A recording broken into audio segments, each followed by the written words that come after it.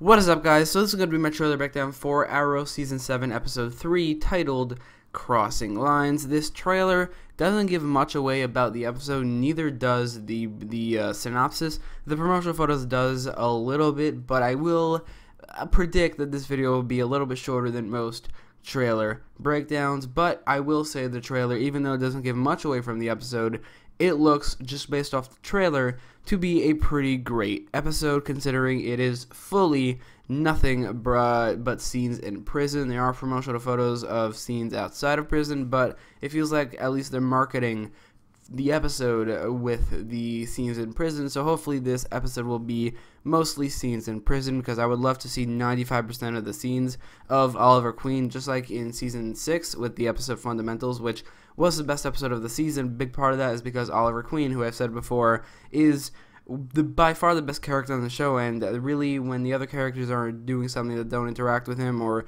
influence him or affect him I really couldn't care less so I really hope this episode is like 90% scenes with Oliver Queen in prison but with that in mind let's actually watch the trailer Green Arrow's joining our little gang. Hard man to kill. He still thinks he's a hero. He wants you dead. Place your bets. Arrow, all new this Monday at 8, 7 Central on the CW.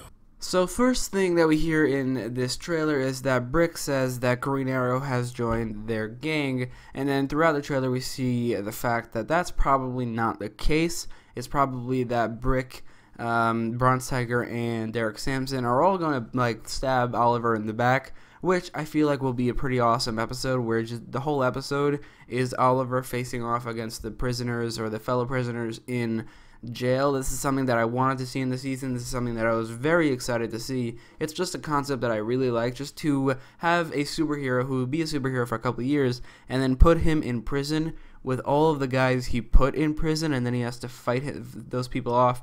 This time around, it's only three of those criminals, but that should be enough, and I think that should be an awesome episode if this episode is just entirely that. I feel like there will also be a revelation that Diaz is hiring Brick, Derek Sampson, and Bronze Tiger, or at least Bronze Tiger, because we do hear him say in this episode, he wants you dead, speaking to probably Oliver, talking about Diaz, and that could be uh, talking about something else, but it's very likely that uh, there will be a lot of backstabbing, and it's very likely that at least Bronze Tiger and probably Brick and Derek Sampson are working for Diaz, and if Brick is working for Diaz, then he is technically maybe a part of Diaz's team, which in the comics Diaz's team, the Longbow Hunters, has Brick on that team along with Red Dart. Kodiak and Silencer are not on that team, but the Longbow Hunters have Ricardo Diaz, um, Red Dart, and Brick. So if Brick is working for Diaz here, then technically they are using that version of the Longbow Hunters member uh, with Brick.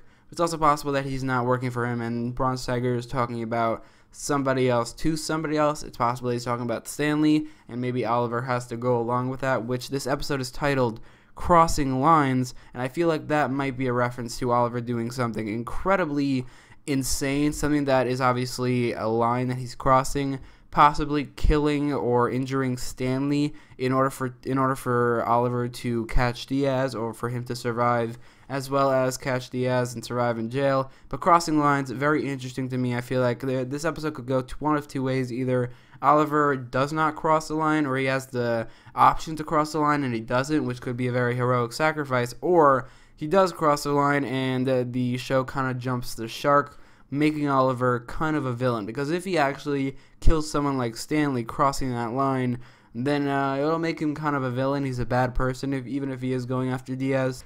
This also fits the, the, the synopsis of the episode where it says that Oliver is facing his biggest challenge yet. I don't know if that means his biggest challenge in jail or the biggest challenge he's had over the last 12 years since he got on the islands, which is a lot of years since then, now that I think about it. But I think it's probably talking about his biggest challenge in prison, and I feel like that Crossing the Lines title mixed with that and mixed with uh, the tone of this episode and really the vagueness the synopsis has and the trailer as well, it might be pointing to something like Oliver doing something insane, something that obviously crosses the line like killing Stanley, which, like I said earlier, could be a kind of a jump the shark moment if it's not executed well, and if it is, then it could probably be great and it could probably have Oliver just really try to get over that throughout the rest of the season or try to or have him pay for that throughout the rest of the season. But either way, this episode will be probably insane.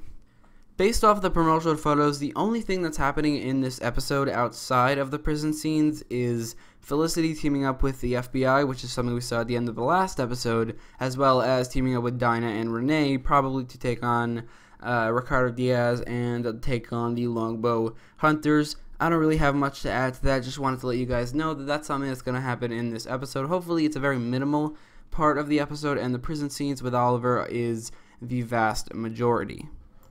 But anyway, I did tell you guys that this video might be a little shorter than most trailer breakdowns of Arrow, and like I said, not much to talk about, but that's actually a good thing. I do like the vagueness of this trailer and also the synopsis. I mean, it does it does give me less to talk about, but I do it does get me more interested in the episode just because it doesn't give much away. And in this trailer, the episode looks pretty badass, and who knows, the episode might not be very good. I highly doubt that, but I do think that this trailer is a great trailer, but also let me know what you think about my theory that mm, Oliver might kill Stanley or might injure him or something, or maybe fake kill him, which I didn't actually talk about in this video, but it's not really specific to that. It could be anything, like Oliver doing anything that's not moral, which is saying a lot for him. But let me know uh, what your thoughts about that are in the comments down below. And if you like this video, don't forget to leave a like, share, and subscribe. And thanks for watching.